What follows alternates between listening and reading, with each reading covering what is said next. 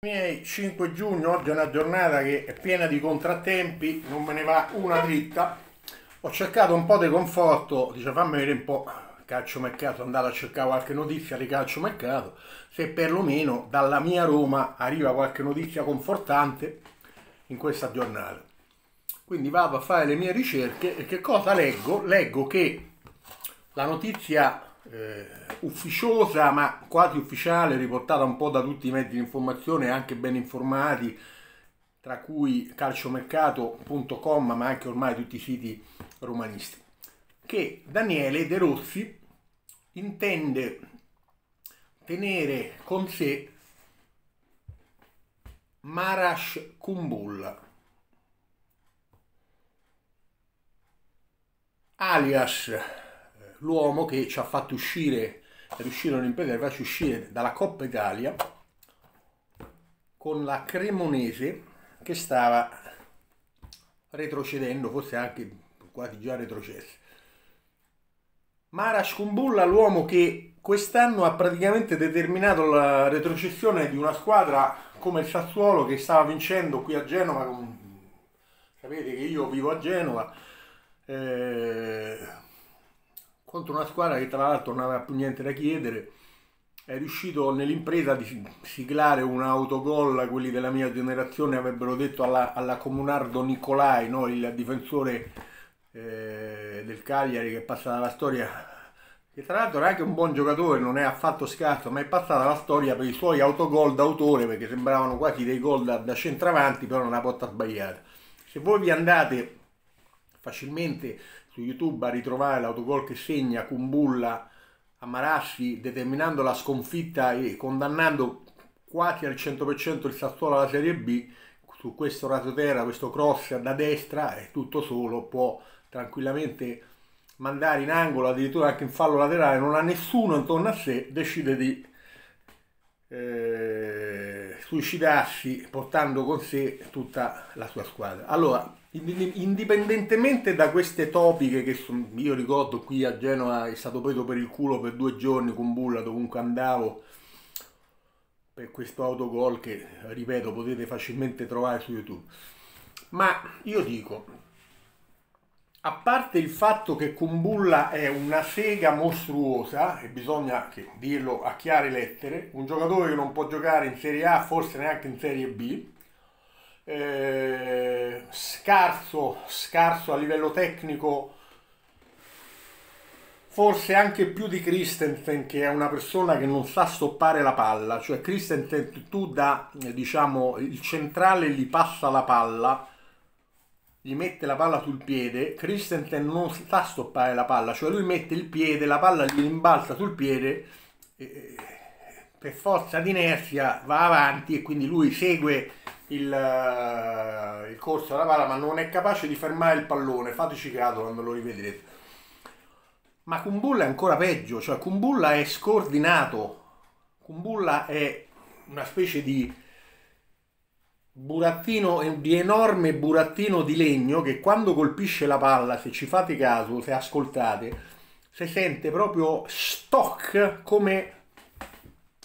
eh, quando giocate a biliardo no, con la famosa stecca che adesso è passata di moda, ci abbiamo passato la vita giocando a biliardo. Eh, quelli della mia generazione, pomeriggi interi, no? Le, eh, stock, ecco, quello, quel rumore che fa la stecca di legno è il rumore che fa il piede di Umbulla quando colpisce il pallone, ma io dico, ma siete tutti impazziti. Ma tra l'altro si legge che la scelta di tenere Kumbulla potrebbe addirittura determinare anche la scelta di non tenere Diego Llorente, di non eh, riprendere in sostanza Diego Llorente,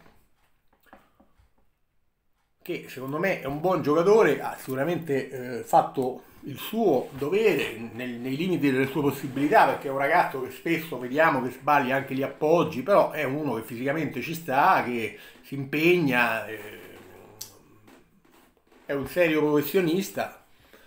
ci può stare benissimo, magari non come titolare, come primo cambio, secondo cambio ci sta benissimo.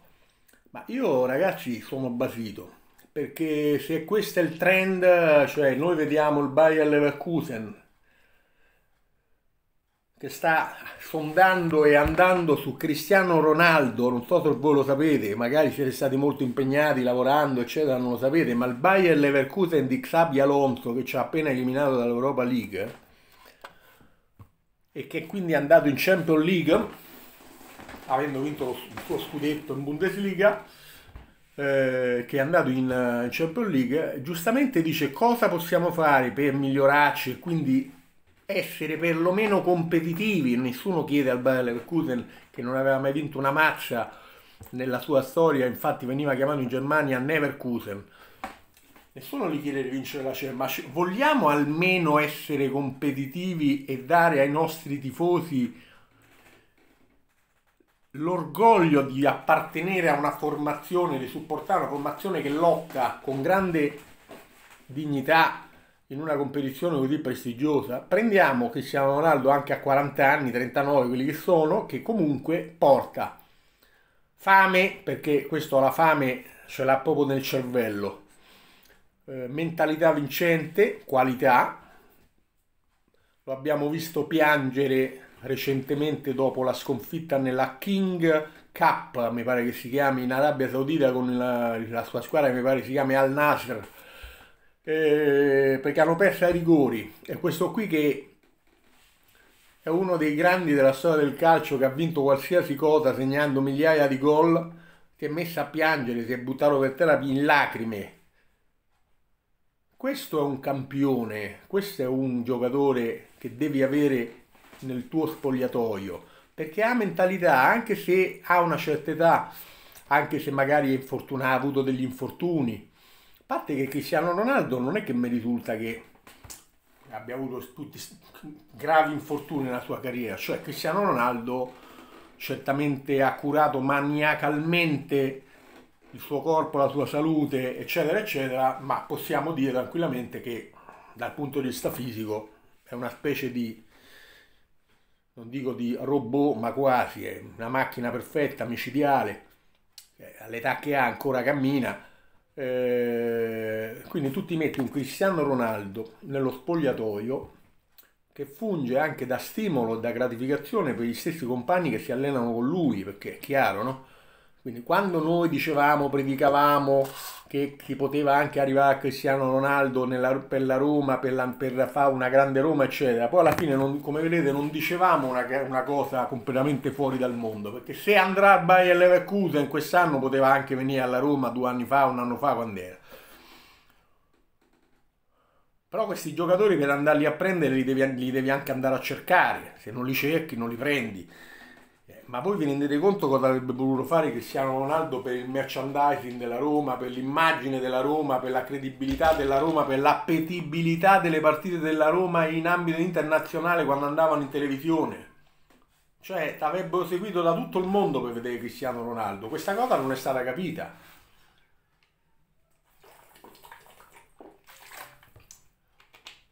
Io dico questo, adesso mi state facendo perdere la pazienza. Io sto aspettando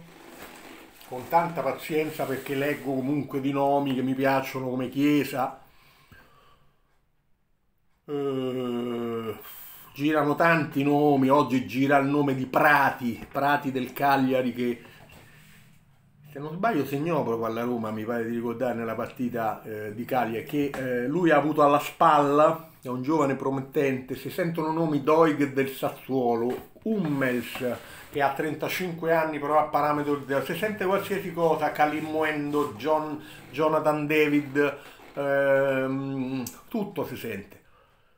Però se noi partiamo subito col piede sbagliato, chiudendo un occhio sui limiti tecnici di una sega stellare come è anche facile da riconoscere con tutti i suoi limiti come Kumbulla, noi diventiamo indifendibili, diventiamo, non abbiamo più credibilità. Cioè, io vi dico questo, con grandissima onestà, con grandissima passione per questi colori. Cioè io sono grato al Padre Eterno di essere tifoso della Roma, perché le emozioni che mi fa provare la Roma, vorrei dire da quando sono nato, ma insomma da quando ho l'età di capisce qualche cosa, non me ne dà nessuno. Però io vi dico questo. i Fritkin non vanno bene per la Roma, la Soluco non va bene per la Roma, Ghisolfi non va bene per la Roma, De Rossi non va bene per la Roma e le seghe come Kumbulla ce ne abbiamo tante purtroppo nella nostra rosa non possono vestire questi colori, questi colori, questi colori. Questo io lo dico con grande chiarezza. Sorprendetemi, dimostratemi che state lavorando sotto traccia, che arriveranno dei nomi che nessuno si aspetta, dei, dei botti, ma aspetto dei botti, voglio i botti, ma non uno, ne voglio tre, quattro. Voglio giocatori di nome, di qualità, affamati, non voglio Hummels a 35 anni e non voglio manco i ragazzini, voglio giocatori maturi, pronti, che subito via, pronti a farsi valere, 25-26 anni, senza infortuni, ambiziosi, giocatori che non devono arrivare da, dal Verona come appunto con Bulla, guarda caso, o dal o dall'Empoli come tra l'altro Baldanzi. Voglio giocatori che devono arrivare da squadre già importanti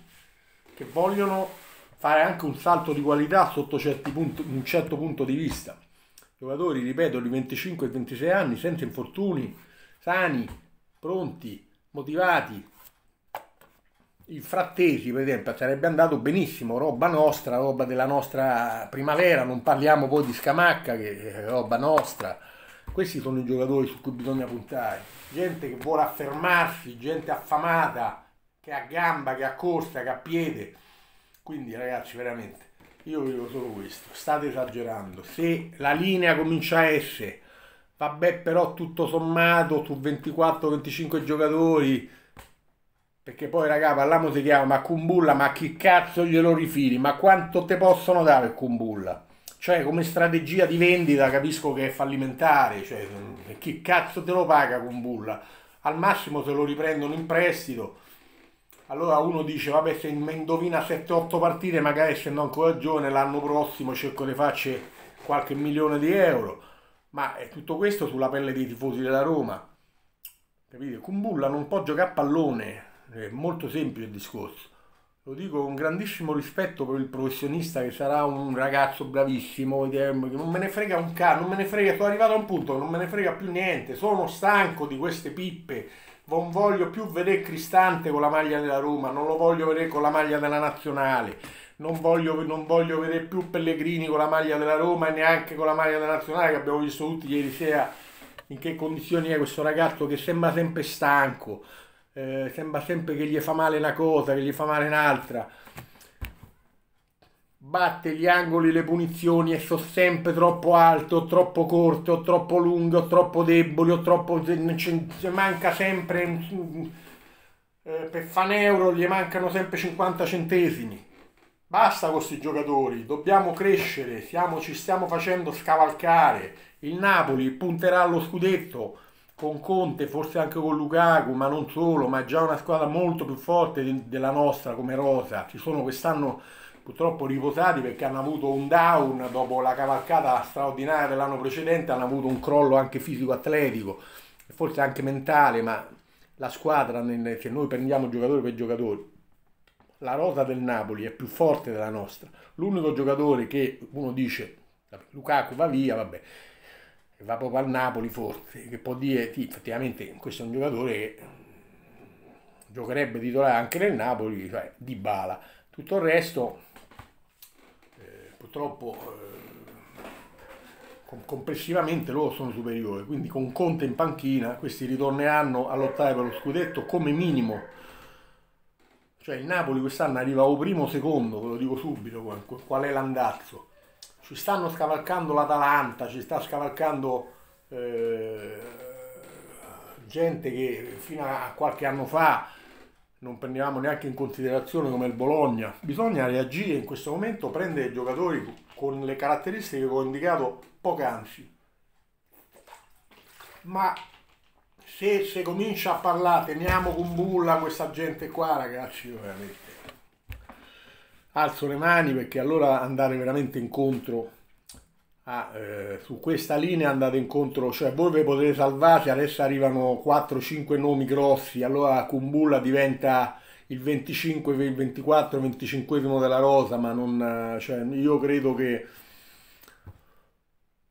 ci debba essere eh, la lucidità e la competenza di vedere se un giocatore di calcio può giocare in Serie A. Se non c'è una competenza in questi termini, è normale che poi arriva Reynolds, arriva Metran Nice eh, e tanti altri, tante altre meteore che sono a Vigna, Shomurodov, quanti ne abbiamo visti, ma lo stesso Solbakken, che Solbakken poi rispetto a Kumbula è oro, è oro Ehm, quindi, ma sono tanti, adesso qualche nome mi sfugge, eh, ma lo stesso Uisen è stata una follia. Baldanzi è un giocatore che è tutto da, da, da, da, capire, tutto da crescere, tutto da svezzare, ci vorranno anni per capire qual è il valore di Baldanzi. Se ha un valore, troppe cazzate sono state fatte, veramente la pazienza dei tifosi ormai sta per finire vi potete salvare solo se, come mi auguro, ci siano delle trattative sotto traccia, ma io mi auguro che la, tra- la, vera trattativa sotto traccia sia proprio una cessione della società di cui non si sa niente, che sarà portata avanti in silenzio, perché sappiamo che queste trattative durano poi mesi, eh, non è che durano settimane, e che a, a un certo punto arrivi l'annuncio che i fritti cedono la società perché veramente eh, ormai siamo stanchi, siamo veramente esausti perché ogni anno siamo a ripetere sempre le stesse cose e il risultato finale è sempre lo stesso. Sesto posto, quinto posto, settimo posto. Così non si può continuare.